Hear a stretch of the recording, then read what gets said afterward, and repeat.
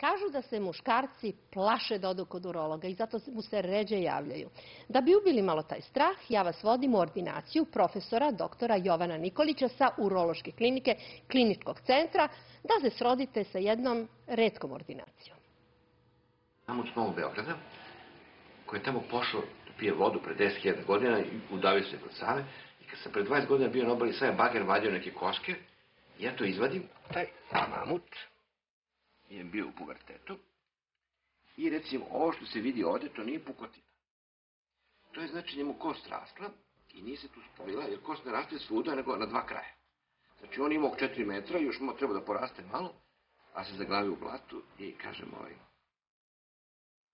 Tako da je to neku ruku naš novogradski komšija. Inače, ova kost je vrlo tvrda, ništa nije trulo. Ima i zubiće.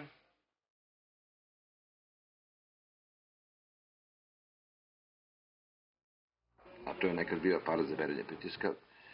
I pa i sad zatvaramo ovako, gledaj. I doktor nosi kofete i pođe u praksu. Evo vidiš, to je bio znači aparat za merenje pritiska iz 1920.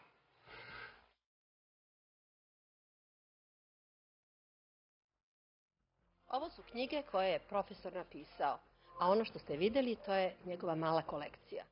Skuplja i stare, nekako antikvarne instrumente koji su se nekada upotrebljavali u urologiji. Sve ove knjige napisao je on, a inače je član međunarodnih udruženja urologa, cene ga ljudi u svetu, trenutno radi na nekim otkrićima koje će nam reći u jednoj od narednih emisija, a ja ga pitam nešto suštinski, jednostavno da vam pomognem. Profesore Nikoliću, kada dobije neko napad kamena u bubregu koji je toliko ja, kažu da je jači od porođajnih bolova i čeka hitnu pomoć, šta da radi?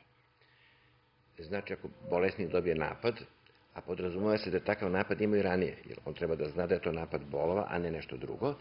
E, od lekova se preporučuje protiv bola nešto od antireumatika. Znači, ne kao ranije neki drugi lekovi, nego recimo brufen ili ibuprofen, a bolove takođe ublažava toplota. Tako da se savetuje, znači, topli oblozi, termofor na slabinu, sa koje strane ima bolove. Ali istina da treba da sedne u toplu kadu?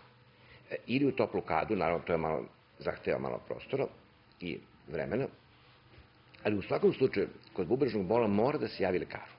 Jer iako je ranije imao bol, možda se situacija promenila, to je možda da se promeni za par nedelje, par meseci, i to se onda malo drugačije leči. Drugačije. Da.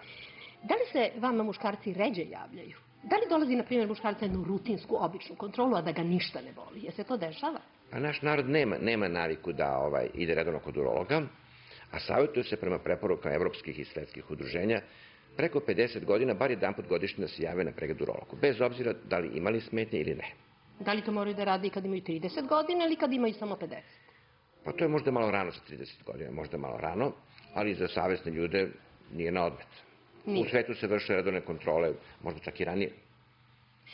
Kada e, kod muškarca dođe do situacije koja ga opominje, to je, kažu, noćno mokrenje. Koliko puta je normalno mokriti tokom noći?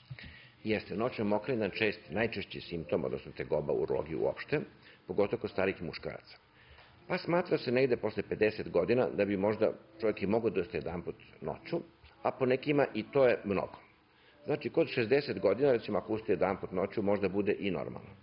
Međutim, ako je dva puta ili više, pogotovo ako je udruženo sa nekim drugim tegobama, tanjim lazom, pečenjem ili čak pojavom krvi u mokraći, onda bi bila obavezna pregled kod urologa. Ta pojava krvi u mokraći u bilo kom uzrastu, znači zahteva ispitivanje kod lekara. Koje vi analize preporučujete kad vam dođe pacijent prvi put sa nekim tegobama? Da uradi šta? Da, da bi mu uštedili dolazak kod vas. Znači, šta je ono što može da uradi, evo, sam i da sa tim rezultatima dođe kod vas? Koje su to dva rezultata? Pa, to se odnosi na mlađeg čoveka ili na starijeg? Recite prvo za mlađeg, onda recite da. za starijeg. Ovako, znači, osnovne analize za urološki pregled podrazumevaju znači malu krvnu sliku, to je znači broj crvenih beli krvnih zrnaca, status rada jetre, znači jetrine probe, analize koje govore o radu bubrega, lipidni status, to znači stanje masnoća u krvi kojih ima više vrsta. Ako starih ljudi bi došla u obzir i ta analiza PSA, ali ta analiza koja ukazuju na neko oboljenje prostate, pre svega tumore, zahteva ipak detaljnije objašnjenje i po nekim evropskim preporukama, znači, to ne može da se uzme bolesniku dok bolesnik ne dobije od doktora neko objašnjenje šta tačno znači ta analiza i kakve su posledice, recimo, pozitivnog nalaza. Profesore, ima jedna stvar, kad ste vi pomenuli te tumorske markere, to je to Da, to PSA, su tumorski markeri, da. kažu da ti rezultati nisu najmerodavniji. Pazite, tu ima dosta nepoznati stvari oko te analize. Nekad su potrebne ponavljanje, nekad su potrebne biopsije, pa se na kraju u nekim slučajima utvrdi da i nije bilo bolesti. Zbog toga sam vam kazao, e, za kratko vreme ne može da se objasni znači šta se bolesnik mora da zna pre nego što da analizu, ne samo za to, nego i za druge tumor markere. Profesore, e, kad ste ušli ovde u ovaj studio, veliki broj mojih kolega, znate šta je kazao? Da li postoji varijanta da vi vidimo nekog doktora, a da ne čekamo šest meseci? Je li istina da je teško doći do urologa? Eto, odgovorite mi samo na to pitanje. Odlično, to je pitanje, znači političko pitanje. Ali mi se ne bavimo politikom, nego vas pitam, kada neko Znači, hoće da ja dođe na da urološku kliniku, Ja mislim da je na, Nije teško. na našem Šta treba da kliničkom centru se ne Dođe čeka dugo, apsolutno. i- Mi imamo veliki broj urologa, ja radim u kliničkom centru, tu se zakazuje, vrlo je kratko čekanje, malo je duže za operaciju, ali za pregled kod urologa je znači, vrlo kratko čekanje, a hitne slučaje se svi primaju znači, u urgentnom centru bez znači, uputa, znači za hitne sve zbrinuto. Ovako, meni je drago da vas sam vas srela i da nikome nije potrebno ništa hitno. Ja vas očekujem, na primjer, za mesec dana kada se bude finalizovalo jedno vaše istraživanje koje je svetska ekskluziva. Ja vas čekam. Mnogo vam hvala što ste došli.